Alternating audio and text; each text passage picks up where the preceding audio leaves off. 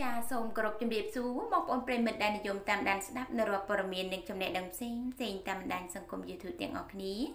ថ្ងៃនេះ Channel យើងខ្ញុំបាននាំអារម្មណ៍ប្រិមិត្តមកជួបនៅអត្ថបទព័ត៌មានមួយមានចំណងជើងថារំភើបជំនួសនេះជាអារម្មណ៍ពិតពេជ្រសូលីកាក្រោយចិត្តសម្រាប់កូនឆាប់ឆាប់ចាតែមិនចូលអត្ថបទព័ត៌មាននេះកាន់តែលំអិន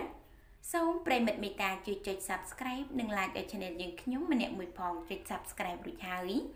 សូមប្រិមិត្តកុំភ្លេចចុចនេះសញ្ញាកណ្ដឹងដើម្បីទទួលបាននូវព័ត៌មានថ្មីថ្មីបន្ថែមទៀតចាត្រឹមជាមហាជន ប្រកាសជាចង់ដឹងចង់ឮជីវិតដ៏អស្ចារ្យរបស់ពួកតារាល្បីៗហើយក៏ហាក់ដូចជាចង់ដឹងឲ្យបានលំអិតបន្តិចពីជីវិតឯកជនរបស់ពួកគេដែរ ប៉ុន្តែក៏មានតារាខ្លះក៏តែងតែបើកចំហនៃជីវិតដ៏មានសុភមង្គលរបស់ពួកគេចាជាក់ស្ដែងកាលពីយប់មេងនៅក្នុង Facebook របស់គូដណ្ដឹងតារាចម្រៀងពេជ្រសូលីកាដែលបានបង្ហោះរយៈពេលប៉ុន្មាននាទី ដែលបង្ហាញអារម្មណ៍ចិត្តខ្លាចជាឪពុកម្ដាយរបស់គេ នាពេលឆាប់ឆាប់នេះ ចាក្នុងនោះផងដែរតារាចម្រៀងនៅក្នុងផលិតកម្មហងមាសម្នាក់នេះ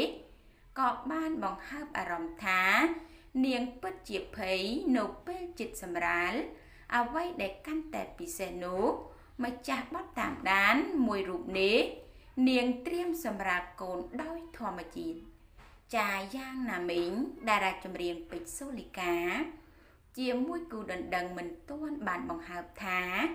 ពេលវេលាជាក់លាក់គ្រប់ខែថ្ងៃណានោះទេ